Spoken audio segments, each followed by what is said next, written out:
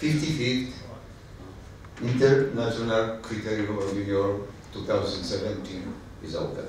Těmito slovy symbolicky začal 55. ročník slavných závodů žáků v alpských disciplínách Ski Interkritérium v říčkách v Orlických horách. Prestižní dvoudenní akce, kde v minulosti startovala třeba Šárka Záhrobská nebo bývalá olympionička Eva Kurfirstová. Pro mladé závodníky hodně, protože zvlášť pro ty české, protože je to pro ně taková startovní čára do toho velkého světa lyžování. Oni si tady vlastně poprvé v životě sáhnou na ty zahraniční soupeře, takže v tomto směru je to opravdu pro české závodníky významný první závod a první kontakt s nějakou mezinárodní konkurencí a pak teda následují ty další větší závody. Dva dny na černé sjezdovce, sjezd i slalom, to vše pod tradičním dohledem krtečka. Tenhle maskot ke skíčku neodmyslitelně patří. Přijíždějí sem mladí závodníci z celé Evropy. Máme přihlášeno 11 eh, zemí eh, do letošního 55. ročníku a zhruba 150 závodníků. Musím říct, že jsme trošku zklamaní z účastí, protože jsme čekali eh, minimálně 15 zemí na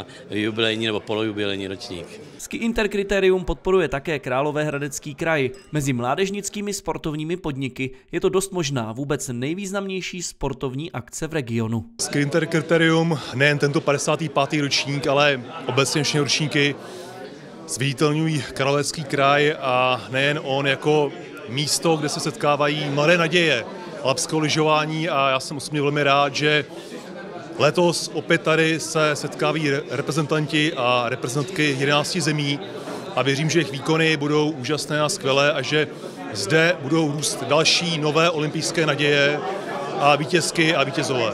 Závodit se v říčkách bude až do soboty, nechte se tedy pozvat na špičkové lyžování. Možná budete překvapení, jak výborné výkony mohou žáci na sjezdovce předvádět.